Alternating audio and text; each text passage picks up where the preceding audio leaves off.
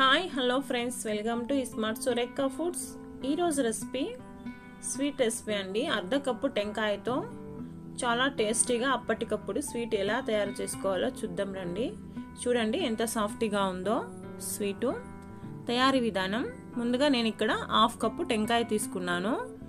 దీనిని తురుముకుంటే ఒక కప్పు అయ్యింది. ఇప్పుడు దీన్ని ఒక మిక్సీ జార్లోకి వేసుకొని అర్ధ కప్పు నీళ్ళు వేసుకొని ఐదు ఏలక్కాయలు వేసుకొని మిక్సీకి వేసుకోవాలి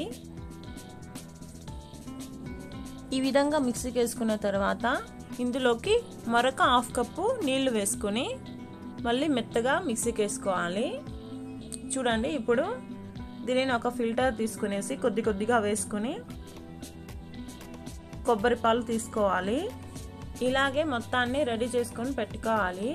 లేకుంటే ఒక పలుచటి కాటన్ క్లాత్ తీసుకుని అందుపై అందులోకి మొత్తం మిశ్రాన్ని ఒకేసారి వేసుకొని గట్టిగా ఒత్తుకొని కూడా కొబ్బరి పాలని తీసుకోవచ్చు. చూడండి మొత్తాన్ని ఇలా వీడియో క్లిప్లో చూపించిన విధంగా చేసుకుంటూ కొబ్బరి పాలు తీసుకోవాలి.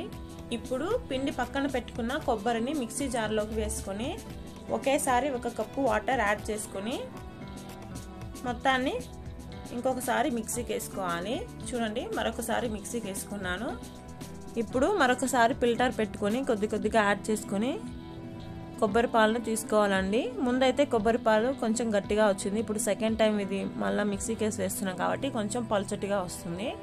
మనం రెండు సార్లకి రెండు కప్పులు వాటర్ వేసుకొని మిక్సీకి వేసుకున్నాం కాబట్టి రెండు కప్పుల కొబ్బరి పాలు వస్తుంది. చూడండి ప్యాన్ పెట్టుకొని ప్యాన్లోకి ఒక కప్పు కొబ్బరి పాలు వేసుకోవాలి. ఇంకొక కప్పులోని అర్ధ కప్పు మాత్రం వేసుకొని అర్ధ కప్పు కొబ్బరి పాలని పక్కన పెట్టుకోవాలి. ఇప్పుడు ప్యాన్ తీసి స్టవ్ పైన పెట్టుకొని వేడి చేసుకోవాలి. లో ఫ్లేమ్లో పెట్టుకొని మాత్రమే వేడి చేసుకోండి. ఇప్పుడు ఇందులోకి సన్నగా పొడి చేసి పెట్టుకున్న ముక్కాలు కప్పు బెల్లంని వేసుకోవాలి. బెల్లాన్ని తురుముకొని కూడా వేసుకోండి. తొందరగా కరిగిపోతుంది. ఎందుకంటే ఎక్కువసేపు దీంతో కరగనివ్వడానికి అవ్వదు కాబట్టి మనం ముందుగా పొడి చేసుకొని బెల్లాన్ని వేసుకుంటే మంచిది. తొందరగా కరిగిపోతుంది. వన్ మినిట్ పాటు లో ఫ్లేమ్లో పెట్టి వేడి కానివ్వండి. ఇప్పుడు మరొక బౌల్ తీసుకొని అందులోకి ఆరు టేబుల్ స్పూన్ల కార్న్ఫ్లోర్ని యాడ్ చేసుకోవాలి.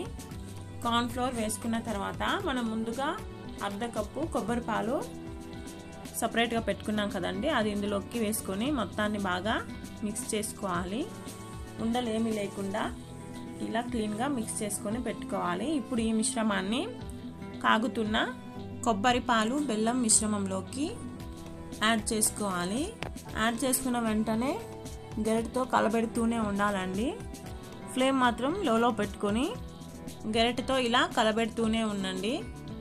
ఈ కాన్ఫ్లోర్ అంతా గట్టిపడి చూడండి ఇలా కొంచెం ఉండలు ఉండలుగా వస్తుంది. అందుకనేసి చేయి వదలకుండా ఇలా బాగా మిక్స్ చేస్తూనే ఉండాలి. ఈ విధంగా సాఫ్ట్గా అవుతుంది తర్వాత ఇందులోకి రెండు స్పూన్లు నెయ్యి యాడ్ చేసుకొని మొత్తాన్ని ఇలా బాగా మిక్స్ చేసుకోవాలి. స్వీటు నెయ్యిని బాగా పీల్చుకునే వరకు ఇలా మిక్స్ చేసుకుంటూనే ఉండాలి. ఇప్పుడు చూడండి స్వీటు ప్యాన్కు అంటుకుంటా లేదు ప్యాన్ నుంచి రిమూవ్ అవుతా ఉంది. ఈ విధంగా వచ్చిన తర్వాత పర్ఫెక్ట్గా కుక్ అయి ఉంటుంది. వెంటనే స్టవ్ ఆఫ్ చేసుకునేయండి. ఇప్పుడు మరొక స్టీల్ పాత్ర తీసుకుని అందులోకి కిందకి ఎడ్జుల్లో ఆయిల్ రాసుకోవాలి. తర్వాత ఈ మిశ్రమాన్ని అందులోకి వేసుకొని ఈక్వల్గా స్ప్రెడ్ చేసుకోవాలి. ఇది తొందరగా గట్టి పడిపోతుందండి ఈ స్వీటు హాఫ్ అన్ అవర్కి అంతా గట్టి పడిపోతుంది ఇప్పుడు ఒక ప్లేట్ తీసుకుని అందులోకి బోర్లు ఇచ్చుకొని ఇలా మీకు ఇష్టమైన షేప్లో కట్ చేసుకోండి. చూడండి ఎంత సాఫ్ట్గా ఉందో. చాలా టేస్టీగా కూడా ఉంటుందండి. ఇది అప్పటికప్పుడు చేసుకుని తినే స్వీట్ అండి. చాలా టేస్టీగా ఉంటుంది. మీరు కూడా తప్పకుండా ట్రై చేయండి. మీకు మా వీడియోస్ కనుక నచ్చినట్లయితే లైక్ చేయండి కామెంట్ చేయండి. మరెన్నో ఇలాంటి సింపుల్ రెసిపీస్ కోసం మా ఛానల్ని సబ్స్క్రైబ్ చేయండి. Thank you.